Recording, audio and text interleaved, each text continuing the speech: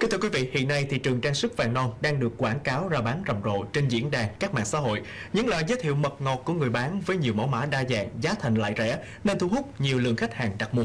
Vâng, không chỉ bán với giá siêu rẻ, các chủ kinh doanh trang sức vàng non online còn cam kết hàng chất lượng cao, dùng thoải mái, không lo bị đen xỉn, bay màu và dị ứng da. Tuy nhiên thực hư loại vàng non này là như thế nào? Có giống như lời quảng cáo không? Thì ngay bây giờ chúng ta sẽ tìm câu trả lời trong phóng sự sau quý vị nhé. Chị Kim Vũ ba chiếc vòng tay nộp 199 000 đã chia sẻ livestream miễn phí giao hàng. Livestream bằng lời chào hàng mực ngọt, mẫu mã đa dạng, phong phú. Khẳng định vàng thật 100%, giá thành lại rẻ, kèm quà tặng hấp dẫn. Thế nhưng chất lượng đến đâu thì nhiều người vẫn còn bỏ ngỏ. Trang sức vàng non hay còn gọi là vàng non tuổi được làm từ các loại vàng 10K, vàng 14K và vàng 18K. Chỉ cần gõ cụm từ trang sức vàng non sẽ có hàng ngàn kết quả xuất hiện. Tại đây không khó bắt gặp những người bán liên tục giới thiệu sản phẩm vàng tây thấp tuổi 10K, dây chuyền đôi phụng có giá niêm yết 650.000 đồng một giây.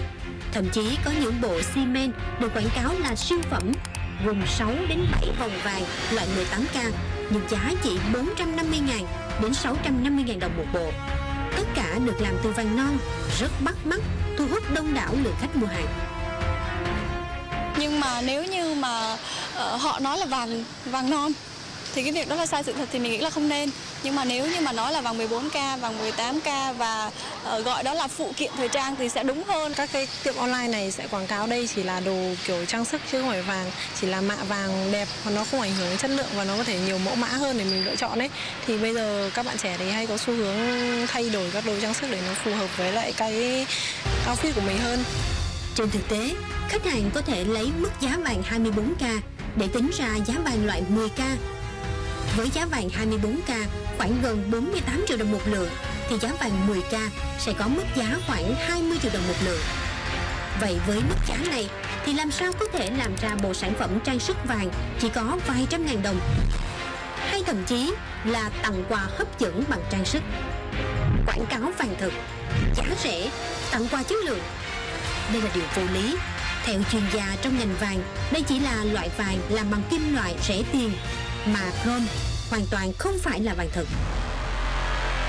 Trong cái cái thuật ngữ của nghề kim hoàng á, thì ờ, đúng ra là không có cái loại vàng nào là vàng non trước đây á, khi mà mà cái cái ngành kim hoàng chưa phát triển thì cái cái ờ, thuật ngữ vàng non được dùng để chỉ những cái loại vàng nó không có đạt được chất lượng nó được hiểu theo cái nghĩa tiêu cực gần giống như là chuyện vàng giả vậy theo chuyên gia trong ngành vàng, thị trường trang sức có nhiều sản phẩm được làm từ vàng 10K.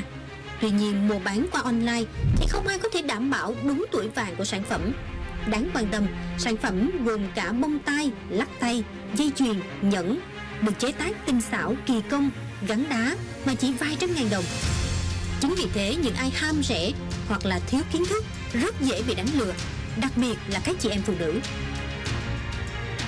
Là một cái cái cách mà mà mập mờ để đánh lận ờ, cái các cái giá trị của người dùng bây giờ thôi. Non là non bao nhiêu tỷ lệ là tỷ lệ bao nhiêu cũng không nói rõ. Đấy thì ờ, người dùng sẽ bị nhầm lẫn. Và một cái khái niệm nữa mà mà trên mạng các món đồ này người ta hay nói tới đó là đánh đồng với lại kim loại có màu vàng và vàng. Thì có rất là nhiều kim loại, nó nó nó được mạ vàng, nó được đánh bóng lên có có cái màu vàng, nhưng bản chất của nó không phải là vàng. Thì những cái loại này giá thành nó rất là rẻ chưa kể nhiều shop bán vàng online tự tạo ra các nick ảo với mục đích chim mồi bằng các bình luận giả giới thiệu sản phẩm chất lượng nhiều người ưa chuộng để đánh lừa người tiêu dùng điều này không chỉ khiến người tiêu dùng bị lừa bỏ tiền thật mua vàng giả mà còn ảnh hưởng đến uy tín của những cửa hàng làm ăn uy tín trên thị trường vàng nữ trang.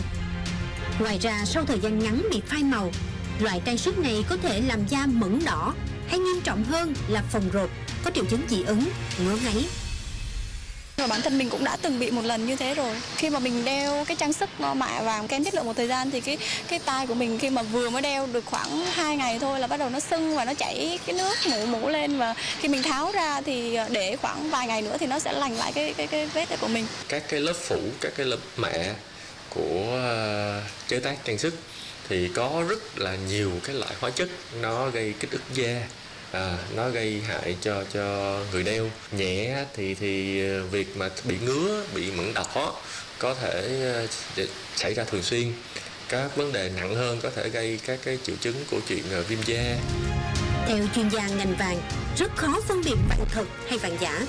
Tuy nhiên, cách đơn giản nhất đó là dựa vào trọng lượng. Trọng lượng của vàng được tính bằng gam. Người dân có thể tìm đến thợ kim hoàn cân trọng lượng cho kết quả chính xác giá trị của vàng. Để tránh mua phải vàng giả, nên mua tại các cơ sở uy tín. Khi mua, nên yêu cầu cung cấp hóa đơn, có số series hoặc chứng chỉ vàng.